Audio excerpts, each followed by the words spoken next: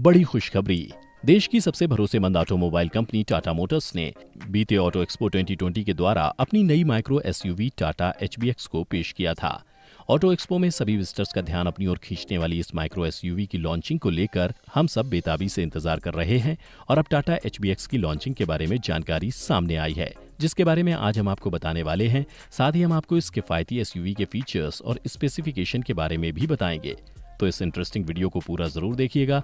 और automobile industry की हर खबर सबसे पहले जानने के लिए हमारे चैनल एनजे हिंदी को सब्सक्राइब करके बेल का आइकन प्रेस करना मत भूलिएगा।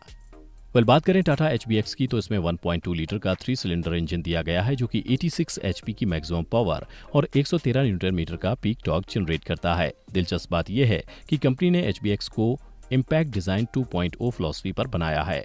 इसकी लंबाई 3840 मिलीमीटर चौड़ाई 1822 मिलीमीटर और व्हील बेस 2450 मिलीमीटर का दिया जाएगा।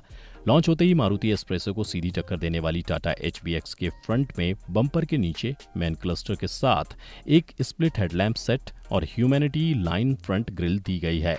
वहीं रियर में एक मैन क्रीज दी गई है जो टेलगेट को अलग हिस्सों में बांटती है। जी हाँ ये डिटेल्स हम कार के कॉन्सेप्ट मॉडल के बारे में ही बता रहे हैं, लेकिन जानकारी के मुताबिक HPX का प्रोडक्शन मॉडल करीब 90 प्रतिशत इसके कॉन्सेप्ट मॉडल जैसा ही होगा।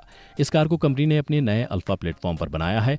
लॉन्च डेट की बात करें तो खबरों के मुताबिक कंपनी HPX माइक्रो एसयूवी को इसी साल त्योहारी सीज़न में लॉन्च कर सकती है। कीमत की ओर ध्यान दें तो लॉन्चिंग के पहले इसकी कीमत के बारे में कुछ भी कहना थोड़ा मुश्किल है, लेकिन रिपोर्ट्स के मुताबिक कंपनी HBX को पाँच लाख पचास हज़ार रुपए से कम की कीमत के साथ लॉन्च कर सकती है। तो दोस्तों, आपको टाटा की ये माइक्रो एस यू कैसी लगी? हमें कमेंट में ज़रूर बताइए और इस वीडियो को अपने सभी कार के शौकीन दोस्तों के साथ शेयर ज़रूर कीजिए। Thank you very much